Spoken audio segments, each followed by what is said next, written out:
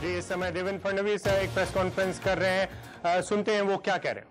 तो हम बन गए हैं लगातार हमारी सीटें बढ़ रही है और पिछले चुनाव के तुलना में अलायंस न रहते हुए भी करीब ढाई से तीन गुना हमारी सीटें बढ़ती हुई हमको दिखाई देती है।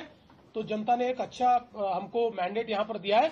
और आगे की हमारी रणनीति क्या होगी ये तो हम पूरे रिजल्ट्स आने के बाद कहेंगे पर आज इन ट्रेंड्स को देखते हुए मैं इतना ही कह सकता हूँ भारतीय जनता पार्टी निश्चित रूप से महाराष्ट्र में सरकार स्थापित करेगी। भारतीय जनता पार्टी का मुख्यमंत्री होगा। एक पारदर्शी सरकार हम महाराष्ट्र की जनता को देंगे।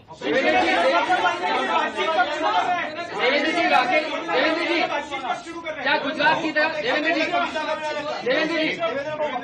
क्या गुजरात की तरह महाराष्ट्र को भी पहली महिला मुख्यमंत्री मिलेगी? देखिए भारतीय जनता पार्टी क्या स्ट्रैटेजी करेगी? भारतीय जनता पार्टी को किसी की मदद की आवश्यकता होगी क्या? होगी तो किसके लेगी? ये सारी चीज़ें उचित समय पर भारतीय जनता पार्टी का पार्लियामेंट्री बोर्ड तय करेगा और आपके सामने हम लाएँगे। अभी आप थोड़ा सा इंतज़ार कीजिए और आगे आगे देखिए होता है क्या। Thank you